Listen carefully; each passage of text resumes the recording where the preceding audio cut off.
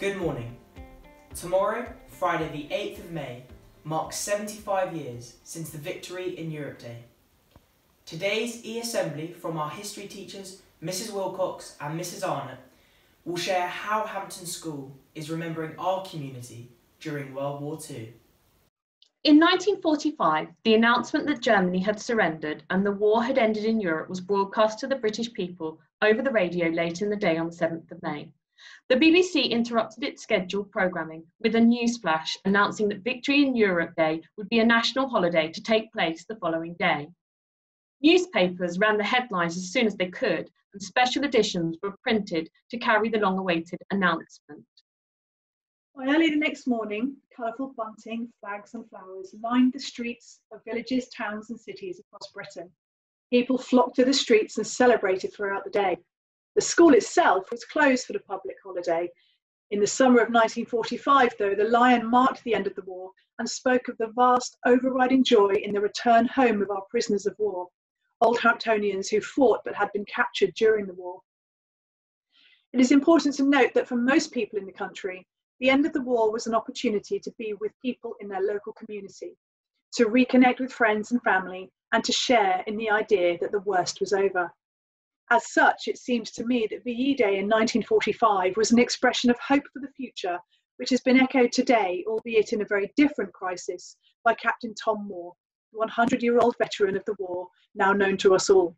He said of our current crisis that tomorrow will be a good day. We will get through this and come out of it stronger, more united, and ready to face any challenge together. While we should resist making facile comparisons between the challenges of the COVID 19 pandemic and those faced in 1939 to 45 by our country's wartime generation, there is undoubtedly much to learn from the courage and resilience of those, like Captain Tom Moore, who celebrated VE Day together and then channeled that collective spirit in attempting to forge a more cohesive and kinder society in the UK afterwards. This week, Hampton School is remembering its own stories of World War II.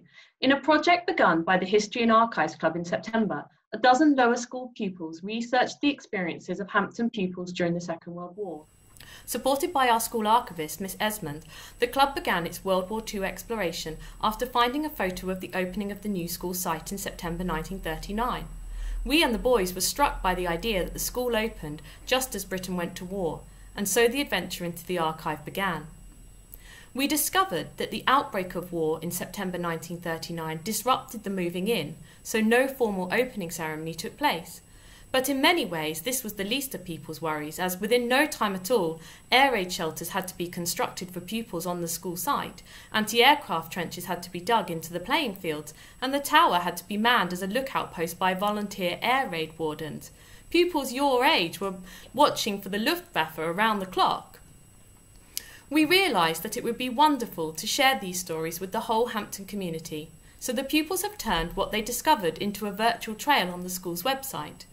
When you visit this trail, you'll be able to find out the story of your school at war, from what happened to the school pigs on Christmas Day 1942, or what your basketball courts were used for in wartime. You can also find out more about the creation of the trail in an interview with some of the History and Archive Club students. To support the launch of the trail, the History and Archives Club had a considerable programme of events planned to take place in the school this week. For example, the atrium was to be a World War II museum.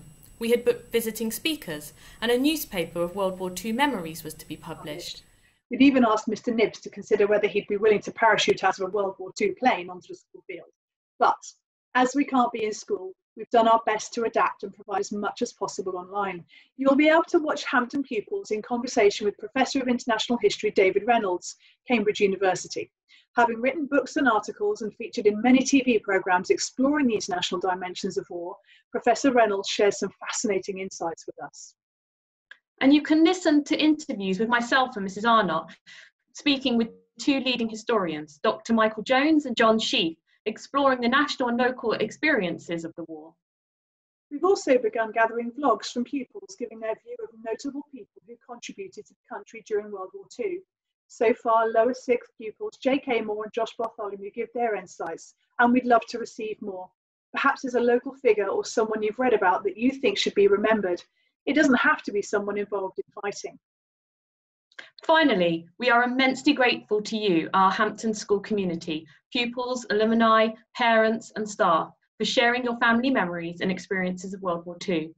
These are available to read in a New Hampton at War section of the website. From the Great Escape to Operation Mincemeat, the stories from our community are fascinating and poignant, courageous and spirited. We hope they give you inspiration. Thank you for listening.